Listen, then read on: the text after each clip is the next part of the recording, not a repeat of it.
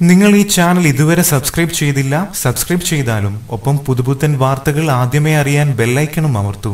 തന്റെ വധുവിനെ അന്വേഷിച്ച് തമിഴ്നാടൻ ആര്യ നടത്തുന്ന റിയാലിറ്റി ഷോ വലിയ വിമർശനങ്ങളിലേക്ക് എത്തിയിരിക്കുകയാണ്. തമിഴ്നാട്ടിലും കേരളത്തിലും ഒരുപോലെ ശ്രദ്ധയാകർഷിച്ച പരിപാടി പതിനാറ് പെൺകുട്ടികളുമായിട്ടായിരുന്നു തുടങ്ങിയിരുന്നത്. ഇപ്പോൾ പത്തു പേരാണ് മത്സരാർത്ഥികളായി ഉള്ളത്. എല്ലാവരും ആര്യ ഭർത്താവായി മനസ്സിലേറ്റി കഴിഞ്ഞതിനാൽ പെൺകുട്ടികളുടെ മനസ്സ് വെച്ചിട്ടുള്ള കളിയാണിതെന്നാണ് പലരും പറയുന്നത്. മാത്രമല്ല ഷോയിൽ ആര്യ പെൺകുട്ടികളെ കെട്ടിപ്പിടിക്കുന്നതും ഉമ്മ കൊടുക്കുന്നതുമെല്ലാം അതിര് കവിയുന്നുണ്ടെന്നും പലരും പറയുന്നു. എന്നാൽ ആര്യ മുൻപ് വിവാഹിതനാണെന്ന കാര്യം ഇപ്പോൾ പുറത്തു വന്നിരിക്കുകയാണ്. ആര്യ തന്നെയാണ് ഈ കാര്യം തുറന്നു പറഞ്ഞിരിക്കുന്നത്. ഏഴു വർഷം നീണ്ട പ്രണയത്തിനൊടുവിൽ താൻ ഒരു പെൺകുട്ടിയുമായി വിവാഹം രജിസ്റ്റർ ചെയ്തിരുന്നു. എന്നാൽ ഒരു മാസം കഴിഞ്ഞ് രജിസ്ട്രേഷൻ പൂർണമാക്കാൻ സാധിച്ചിരുന്നില്ലെന്നുമാണ് ആര്യ പറഞ്ഞത്. വിവാഹ കാര്യം അറിഞ്ഞ് പെൺകുട്ടിയുടെ വീട്ടുകാർ തടസ്സമായി വന്നതോടെയായിരുന്നു വലിയ സമ്മർദ്ദത്തിനൊടുവിൽ വിവാഹം വേണ്ടെന്ന് വെച്ചത്. തന്നെ മാനസികമായി തളർത്തിയ ഏറ്റവും വലിയ കാര്യമായിരുന്നു ഇത്. അക്കാലത്ത് തന്റെ സിനിമകൾ വിജയിക്കുന്നുണ്ടോ ബോക്സ് ഓഫീസിലെ അവസ്ഥയെക്കുറിച്ചോ പോലും താൻ അറിഞ്ഞിരുന്നില്ലെന്നും ആര്യ വ്യക്തമാക്കുന്നു. പരിപാടിക്കിടെയാണ് ആര്യ ഇങ്ങനെ ഒരു കാര്യം വെളിപ്പെടുത്തിയത്. എങ്ക വീട്ടു മാപ്പിള എന്ന പരിപാടിയിൽ പെൺകുട്ടികളെ മോശമായി ചിത്രീകരിച്ചെന്ന് കാണിച്ച് സാമൂഹിക പ്രവർത്തക ജാനകി അമ്മാൾ മദ്രാസ് ഹൈക്കോടതിയിൽ പരാതി നൽകിയിരുന്നു. ഷോ നിർത്തിവെക്കണമെന്ന ആവശ്യമായിരുന്നു ഇവർ മുന്നോട്ട് വെച്ചത്. സ്ത്രീകളെ കച്ചവടവൽക്കരിക്കുകയും സ്ത്രീകളുടെ സ്വാതന്ത്ര്യത്തിന് എതിരായി പ്രവർത്തിക്കുന്ന ഇതുപോലെയുള്ള പരിപാടികൾ സംസ്കാരത്തിന് ചേരുന്നതല്ലെന്നാണ് പരാതിയിൽ പറഞ്ഞിരുന്നത്. ഏപ്രിൽ ഒന്നിന് വീണ്ടും കേസ് പരിഗണിക്കാനിരിക്കുകയാണ്. ഇതുമാത്രമല്ല പലയിടത്തു നിന്നും ആര്യയ്ക്ക് ഷോയ്ക്കുമെതിരെ വ്യാപക